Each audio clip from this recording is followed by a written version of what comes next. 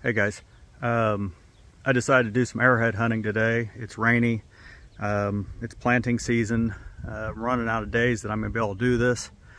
Uh, anyway, I just wanted to show you guys a little tip. Uh, when I'm looking for a new spot to, look, to go arrowhead hunting, um, this is not a new spot. I've known about this spot for a long time.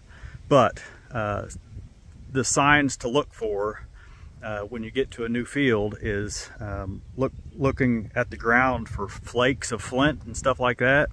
Uh, if you find any flakes of flint, there's a pretty good chance that there was a Native American at there at one time making some arrowheads. Um, so this is where I'm at. There's the truck. I literally just got here, walked to the field, and then walked over here, and I've picked up this many chips of flint. Um, they're they're everywhere, and and I haven't picked them all up. There's no one right there, another one there, there, there. I mean, it's just everywhere I look, I see these. So um, that's a pretty good sign that you might find something. All right, my first piece. Uh, I've actually been walking longer than I expected, but uh, right there, it's pretty crappy, but it's definitely worked. Um, probably had the tail broken off of it. I keep looking.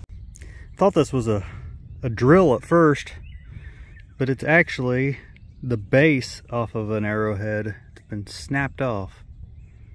Um, I don't know if that makes it a uh, the base off of like a Kirk snapped base arrowhead or if this is just an accidental snapping, but that's what it is, I'm pretty sure.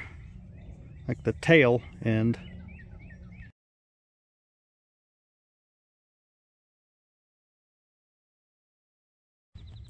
Okay, I just found this. Um, it's nothing real fancy, it's just a scraper or a um, biface knife of some sort. Um, I'm gonna still look.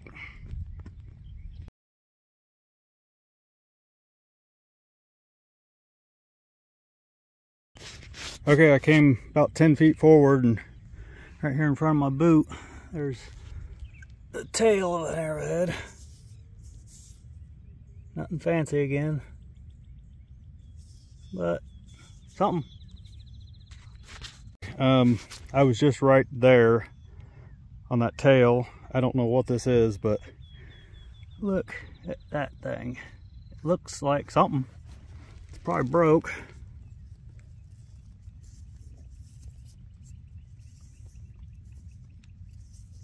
I don't think it is broke. That is complete.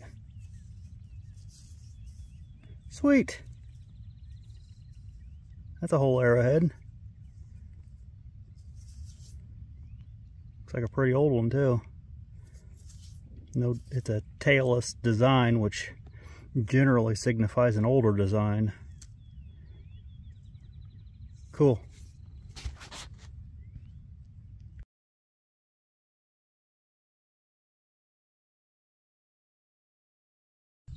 Another little something.